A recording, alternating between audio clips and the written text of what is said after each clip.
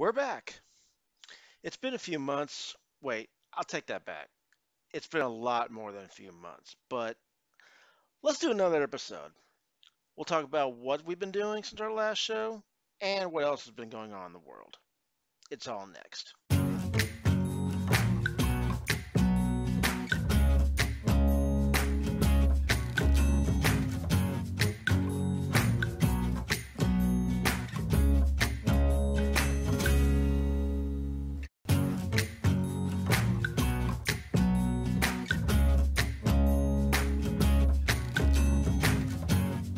Hey everyone, welcome back to another episode, finally, of Modern Faith Unlimited. I'm your co-host William Quinn. And I'm William Henley. William, I know it's been a few months. I know it's went through a long, hot summer. Went through a lot of stuff that's been going on in the world, in our lives, and in the world in general.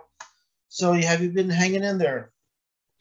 Yeah, um, I've had my highest electric bill ever this summer, so uh, I am now getting solar. that sounds like a good idea. Yeah, I'm ready for the electric company to be paying me. yeah, I got you. That sounds good. Well, let's see. The last show we did was, I think it was before the summer, correct?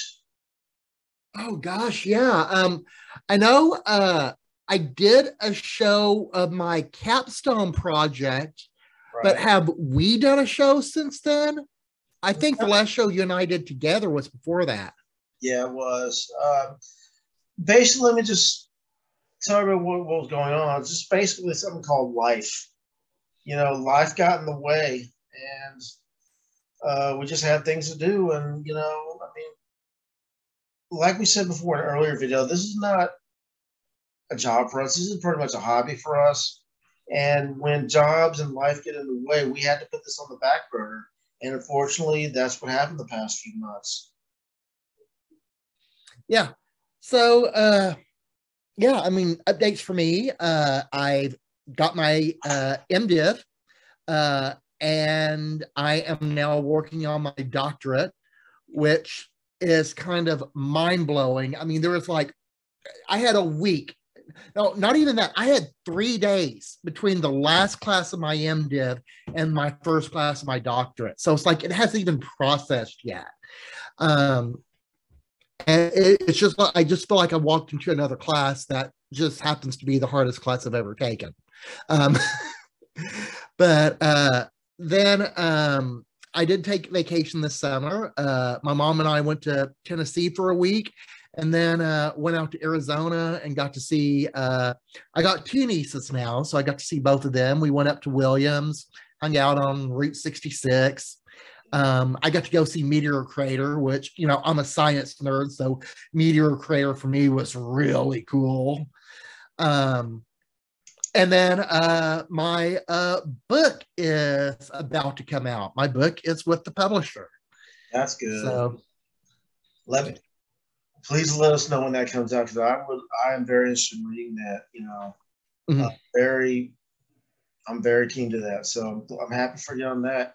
Um, I did get a bit nervous just last week um, because, uh, like I said, it's about to come out. It's about to be published, and my current professor head right now gave me the first critical criticism I ever had on my writing, and it was along this line of. Um, oh my gosh, is everyone just being super nice? Or am I about to release something that's about to like sit, be a serious, you know, um, embarrassment? So uh, I gave my manuscript to multiple people, and everyone's like, "No, I'll just read it when your book comes out." And so I've had pretty much my editor read it, and that's it.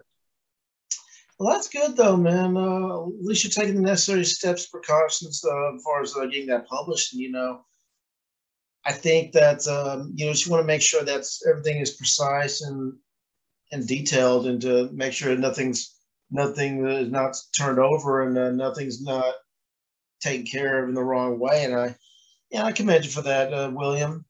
Um, let me tell you what's going on in my life. Pretty much um, had a lot of uh, stuff going on at home for me. Uh, I um, you know, just a lot of issues with my family. I won't go into many much details on. Um, I did get a new uh, position. Uh, actually, started today.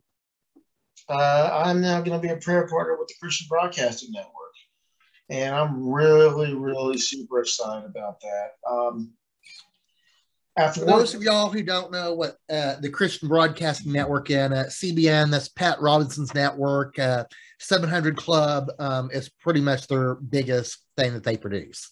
And uh, the thing is, uh, this past Friday was the 60th anniversary to that day of the 700 Club, their first broadcast in 1961. Um, and uh, that day also, Pat Robertson announced his retirement from the 700 Club.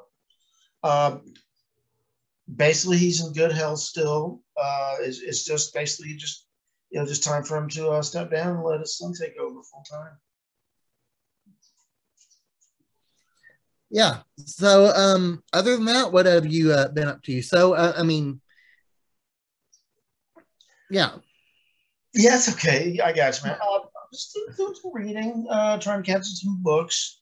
Um, two books I'm mainly reading right now is um, a good friend of mine, um, friend's dad, uh, Lonnie Barnard, did a book of his own, who I'd love to try to get on here. I've talked to him briefly about maybe doing my show. Uh, it's, it's, like a, it's kind of a nonfiction book, but, but he based it into a fiction book type book. So it's kind of so basically it's like a true story written as like a fictional story. It's really interesting. So um, uh, really good book. And also I've been um, uh, still trying to get into um, um, Tom Lane's book, uh, Test and Approve. I'm trying to get that finished up. So hopefully get him on the show too also mm-hmm. as for me uh, i've finished reading um, the last uh, uh, book of Anne Rice's Vampire Chronicles just like last week. Um, and uh, yeah, I'm a big fan of Anne Rice's work. Uh, uh, I love her vampires and her witches novels and stuff. Um, I'm looking forward to getting started on some of her Christian um, uh, novels uh, because uh, about 15, 20 years ago, she converted to Christianity. Um, and uh, well, I think she grew up Christian. She went away from the church and then she came back. Um, and so I'm looking forward to starting on some of her Christian novels. Um, but uh, I really do not have um, a lot of time to read uh, for pleasure. Um, I mean, you remember what reading was like on the master's level, um, which I believe, um, like, uh, I believe per class was like 750 to 1500 uh, pages. Oh, yeah. Well, even, I'll even want to know would be the doctor probably like double that profit. Yeah, it's uh, 3,500 pages a semester. Wow. Um, I'm on my fourth book right now of this semester. Um, and then uh, I got to write um, for this what for my main class. I've got to write. Uh, well, I'm writing a paper like every two to three weeks. Um, and but then the term paper is 10,000 words. Um, and then uh, then I got to write another paper for this class, which is about 1,500 words. And then I have um, a research class that Jennifer, the librarian, is teaching. And uh, I believe that's a 1,500 word paper.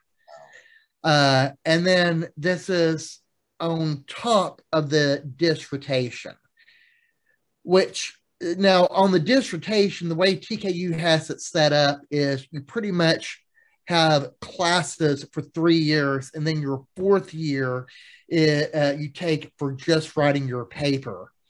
Um, but ideally, you're supposed to be working on your paper the entire time. Thing is, is I don't even have a subject right now.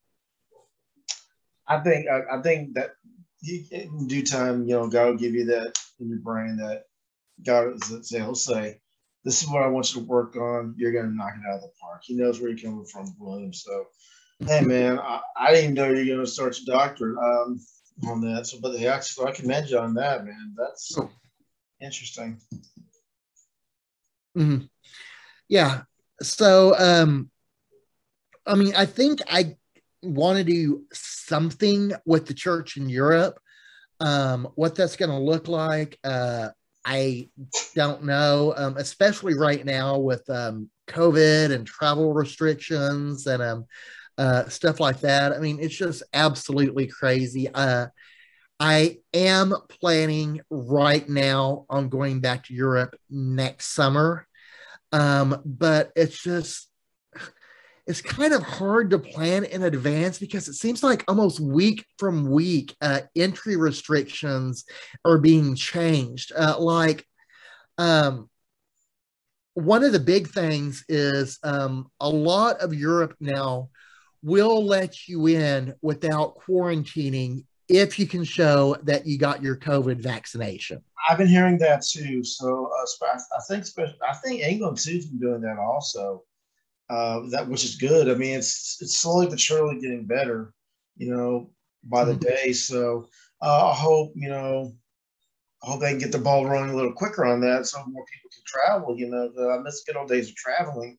Yeah. Um, and you know how much of a blast it was. You know, I just hope that you know you know these restrictions can just start easing yeah as possible because i know people are itching to get get out of their little bubble and start exploring the world again which i hope happens you know well my thought is wearing a mask for 10 hours on an airplane it's just like ugh um because i mean we live in texas and i don't think i've worn a mask uh in probably well other than flying um, I haven't worn a mask in probably a year. Mm-hmm. Oof. Yeah. I've, I've I have been wearing masks, but they got to be the most comfortable masks out there. I mean, I can't wear the one the, the, the regular generic ones because they hurt my ears too much. I have to wear the really soft ones. Mm-hmm. You know, I mean, I mean they're I mean they're still restricted, but I mean yeah, they're easy on my ears. So that's just a pain in the rear, you know. When, when the problem is, is the really soft ones tend to be like uber hot. Yeah, that is true. And and the and the on top of that, I have to wear glasses, and then, then you know all the oh yeah, they glasses. That is annoying. That's yeah. I mean, the one thing I could do is like you know I have to wear it with a little you know under my nose, but they can't people get on me for that you know for wearing it under my nose and I can't see if he's there if it's over my nose. Right. So, um, I just can't. By the way, uh, I am vaccinated. Um, I know. Um, oh my, I'm good. I'm yeah, good. I'm vaccinated too. Um, I know a lot of Christians have issues with that, and I am like, okay, you know what? If you don't want to get vaccinated, fine, but uh, don't sit here and um, talk bad about the people who do get vaccinated and vice versa. I mean, it's, yeah. I, I, say it, it's your choice. And I got mine because one, because I travel a lot, and two, after the third time of going into quarantine uh, after exposure, I, I was like, no, I'm not doing this again. I'm just going to go get that vaccinated. Yeah. Yeah. Uh, have you thought about getting the booster? I thought about it, um, and I don't know if they're even offering it yet. Um, but um, I probably will. Probably would, yeah. I'd probably be, uh, as I say, on the safe side. I, am definitely going to if when it does get offered. I, you know, because I do have, I am type two diabetic, mm-hmm. and um, you know, because of my health issues, I need all the protection I can. Mm-hmm. So, um, as far as that goes, um, I have been managing that. Um, I've been I've been wa- walking a lot now lately. I've been doing like two and a half miles a day outside. Uh, nice. Five, five, days a week. So I, I mean that's been helping me a lot, and and it's easier when you have when you have uh, headphones on with music on. It's a lot easier, you know. I've learned that you don't you don't you don't breathe as heavy, which is, which helps um, you don't because you're not thinking about your you know your air intake you're just thinking about your music and that's been a big game changer for me on that i still get my my miles in and it works so i really haven't uh, been doing much exercise. Uh, today, I actually um, went down to um, a park and walked a trail and stuff. And the thing is, it's just like half a, uh, oh, probably not even that. It was probably about a quarter mile in and quarter mile out.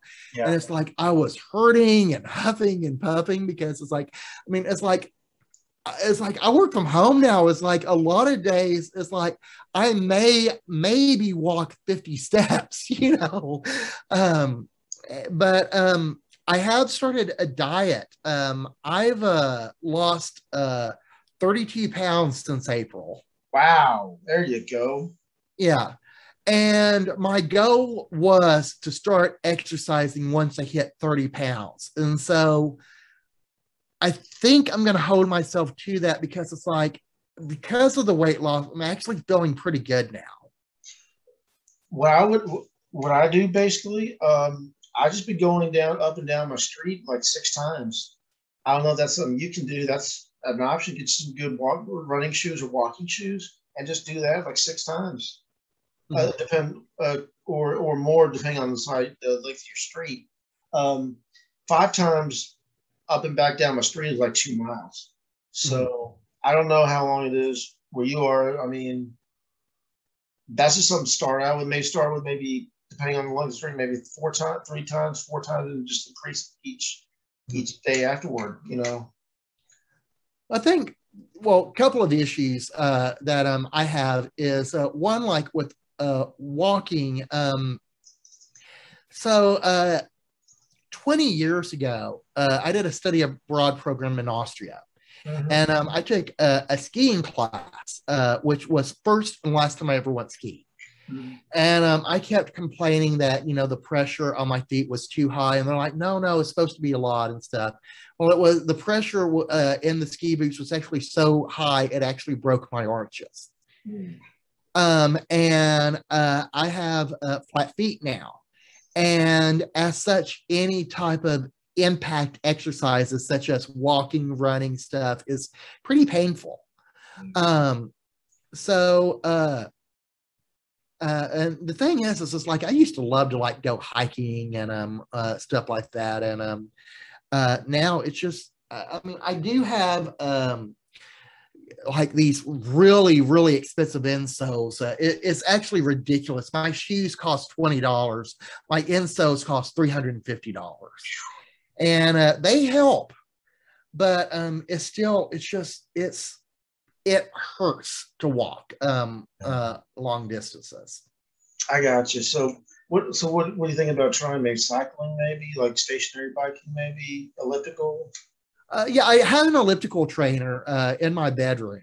Uh, so um, I actually bought it when I bought the house, and then moving it, um, I didn't realize how heavy that thing was, and I went to lift it like that far, uh, like from because well, you see my house, the uh, back room is about that far from the kitchen. Uh, the height difference. And so I had to move it from the back room into the bedroom and um, I completely misunderestimated uh, how heavy it was, and spent three years with a chiropractor uh, from uh, lifting it on my own that that high. Ow, sorry about that, man. Um, Yeah. So, uh, but my back is much better now. So, um, uh, I've actually been seeing, um, this is going to sound crazy, but a masseuse, but my masseuse actually has a degree in spor- sports medicine. And um, so he doesn't just do massages, he does stretching and everything else. And um, actually, last time I saw him, he actually popped two ribs back in place. Yeah. Um, yeah, uh, it's like, man, I don't even need to see a chiropractor now. It's like my masseuse takes care of it. But, um, I've heard some that do that. You know. Yeah, and so it's like I'm better now, and it's like I think I could probably do elliptical because um, be, because of the way the elliptical works, you're you're not you don't have impact. Right. And still full body too, because you move Yeah. your arms and your legs. So that that is a great. I like the elliptical too. Um, I be when I was um, uh, gym working out, I always use the elliptical instead of doing the, the uh, treadmill. Elliptical's fun. Elliptical's fun. I definitely recommend that. If you- It's low impact, doesn't hurt your knees. you know, especially you're flat footed, you don't have to worry about that too. So Yeah. So So let's talk about uh, spiritually. What uh, besides what you're going on at school? What's uh, what have you been doing in spiritual matters? Oh gosh, man, that is the question. Um, so I'm uh, sorry I asked it. I didn't mean to ask. you. I know it was just supposed to be um, a uh, shooting the breeze type of question, but man, my Spiritually- my- spiritually also, you know, I got you. So, yeah, Well, tell No. why you tell let me just why you think about it. Let me tell you what's been going on with me, basically. Um, Okay. just a lot of soul searching. You know, since this, you know, since we're isolated right now because of COVID and everything, you know, I just been really praying to God. I just struggle and just and sometimes I've been struggling too. You know what God wants me to do. And um, the last job I had before this one didn't really work out, and um, it was just a bad fit for me and uh, I've just been praying for a really good job. And um, the CBN job was actually the second time I applied for it. Uh, the first time I applied for it, I guess I just didn't have the um, the right time frame. And then uh, a couple of months ago, just got said, "Try to apply again." Okay, I did, and I got farther than I did, and eventually got the job. And I'm re- and I'll be honest with you, you know, I just thank God, you know, for you know, let me give me that persistence to do this again you know, and try to apply for that again. And it worked. And I just think, you know, God has me here at CBN for a reason because He knows I've been burned out with secular for so many years, but He knows I have experience in that. I just feel like it's just God's timing. He wants me to use both my work experience and the degree I earned. So I mean, that's the only thing I can think of. That's I, I can only thank God for that. So So uh, with me, um, I- know for the past couple of years, uh, God's kind of had this thing, uh, I guess, with me about um, what is it that you want from me. Um, I mean, uh, almost kind of like uh, I get. Let me re- rephrase that. If you remember God speaking to Solomon and saying that he was going to give him a gift whatever he asked for um, and Solomon asked for wisdom. I kind of had the same uh, uh, thing uh, happen, um, and uh, it's like uh, there, there's a lot of stuff where I've been like, uh, well, I have this, I don't really need this, I have that. Um, and so it's literally been one of these things that have been kind of put, putting off because it's like, I don't really know at the moment. Well, this past summer, it occurred to me that one of the biggest things I was missing was joy. Um, and uh, it's, I would have to say there's been moments where I've been happy, but um, a lot, I feel like a lot of uh, my life is kind of going kind of like in a down moment going from one happy moment to another. And um, one of the things I, i've realized is uh, this is actually because um, uh, i feel like i don't have joy. Uh, and i so this is something that just occurred to me probably within the past month um, and I said, God, I said, this is what I would like. I would like joy. Um, and uh, it it seems weird to think about the fact that not only am I a Christian, but I'm in ministry, but I like joy. And um, I, I do know uh, this past week uh, had Gateway Conference. And um, one of the things that was said, and I've kind of known this for a while, is that I will put my own spiritual life on the back burner to be able to help others. Yeah. Um, it's like it's almost like um, I, I think God, you and I have the rest of eternity to get to know each other better. Let me get these other people to you now. And part of the problem with this is that I'm finding myself constantly burning out and stuff like that because I'm not focusing on myself and on my personal spiritual life and stuff like that. Um, I do know one of the things uh, when I started my undergrad, I went to an undergrad at a Christian university, and it's man, it's one of the most profound things um, I think someone in seminary could hear.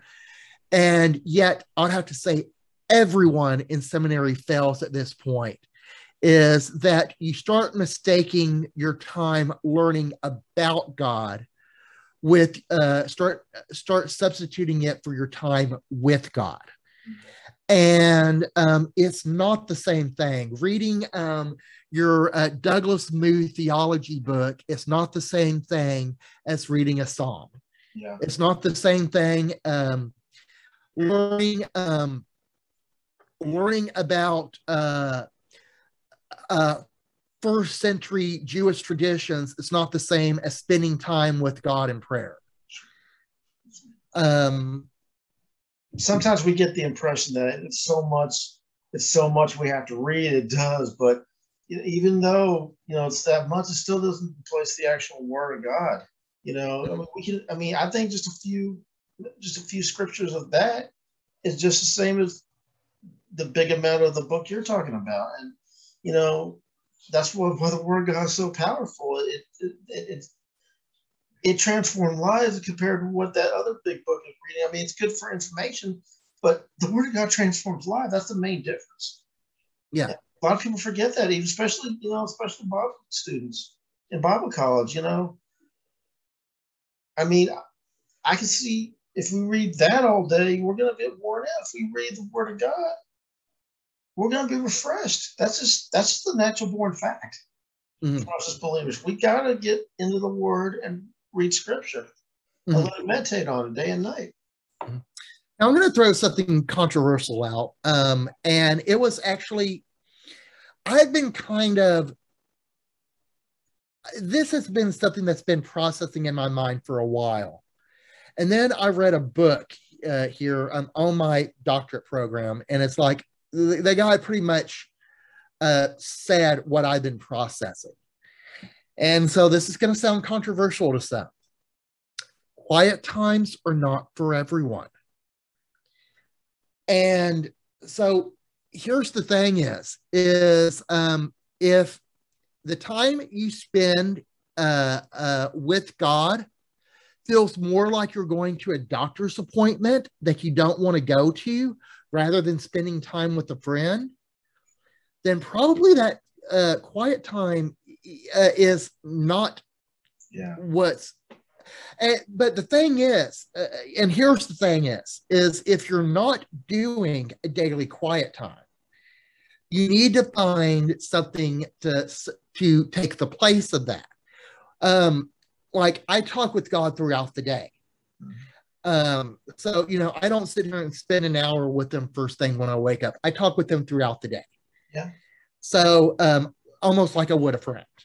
Um and th- this is um an, another thing is is you know i kind of feel almost and it's one of the chapters in my book is uh, one of the weird one of the things i started doing which has completely kind of shifted my perspective on a lot of things is to stop taking my own requests and stuff to god but start asking him what's on your mind Yeah.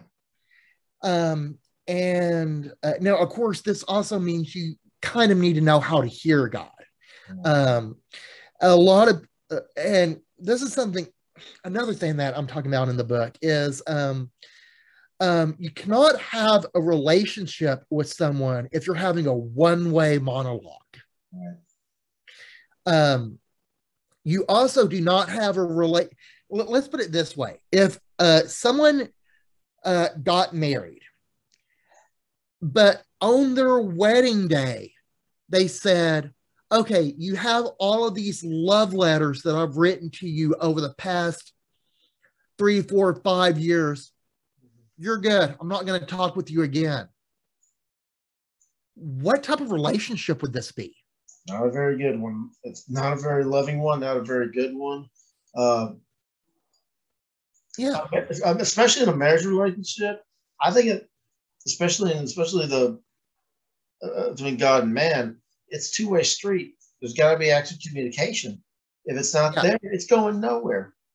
So I get exactly where you're coming from, William.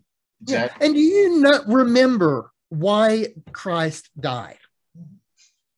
Now, a lot of people say, well, for sins. No, no, no. It's so much more than that. When man sinned in the garden, it it severed the relationship between God and man. Jesus died to restore the relationship between man and God. Mm-hmm. Why would he sit here and say, "Great, Revelation is done. The uh, the Bible is done. You got my word. I'm not going to speak to you again." No, he Jesus died to restore that relationship, and um, it's just blows my mind that people think that God no longer speaks. Yeah, I, and trust me, I've seen some. I've been around people like that too. Unfortunately, it's it's not pretty. You know, yeah. God love them. You know, mm-hmm. they're brothers and sisters of the Lord, but God love them. They're hard to deal with when they believe that. I, I, I can tell. I can say that from first experience. I won't go into further details on that, but I know that. I know how that is. So, yeah. Go ahead. I just think that um, you know, just the word and spirit can be done together. Let's not forget that. Piggybacking off what you just said, they work together. Let's just leave it at that. Don't try to make one bigger than the other. They're equally as good, and if used correctly together, they're equally as effective. I definitely especially in the last 10, 15 years, uh, since I've been at the church I'm at now, I really have been really meditating on how to hear the word of God and how he speaks to me, not just through the word, which is important, but in conjunction with the word, the spirit speaking to us, you know, in any facet possible. It's possible when both are used together correctly. Mm-hmm. And let's just go ahead and um, wrap it up right now. Uh, I don't want to take, go too far into this. It's just a catch up show, basically.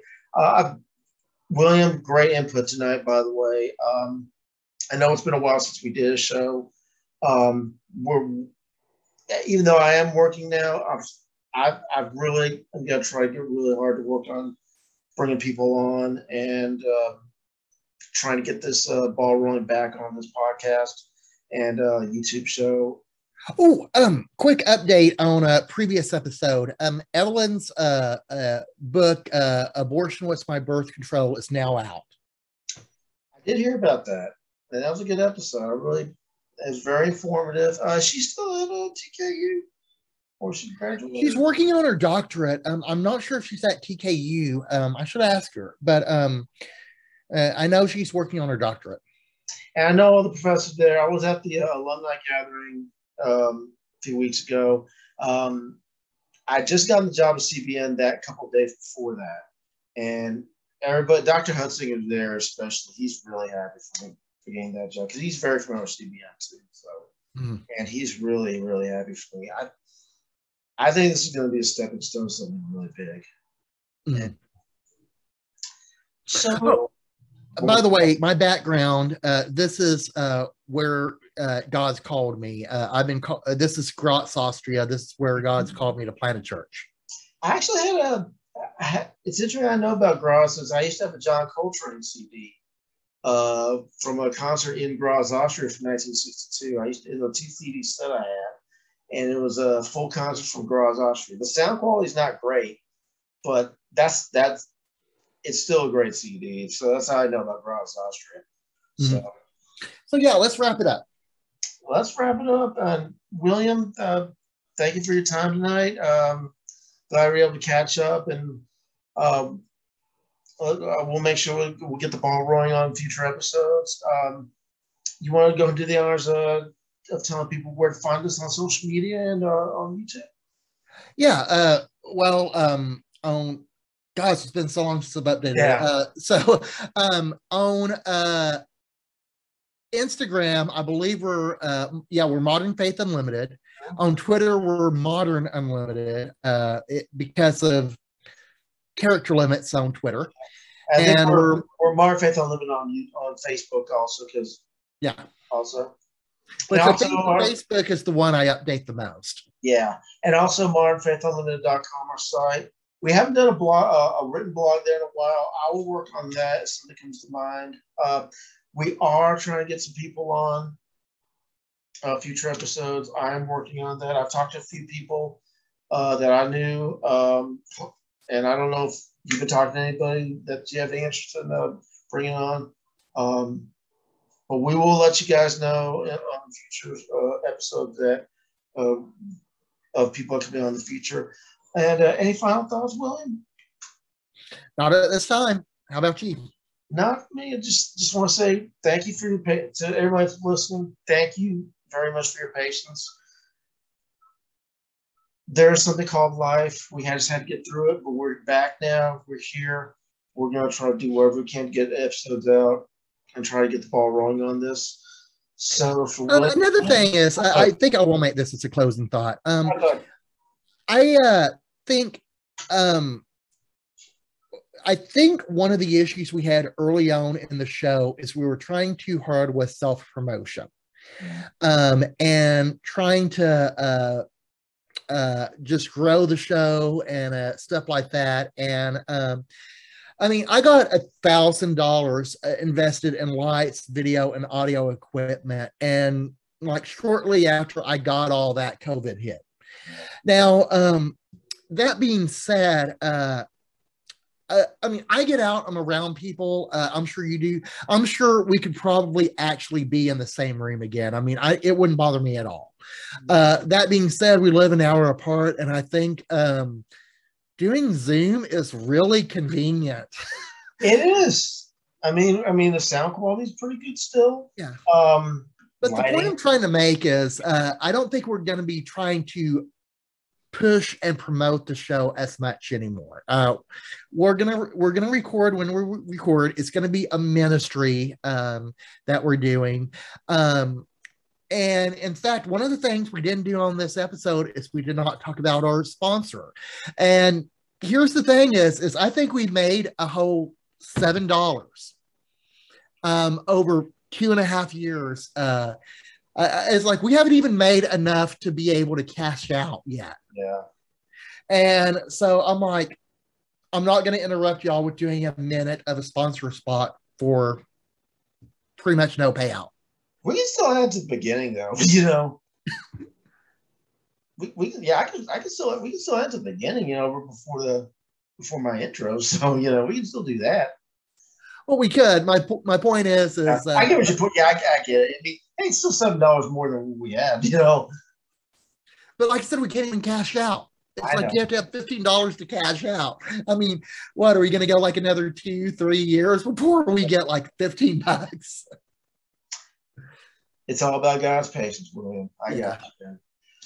Okay, well, that's our that's our show for today. Um, th- like I said again, thank you for everybody that's listening. Thank you for your patience. Thank you for still being there with us. For William Quinn. Oh, and William Henley.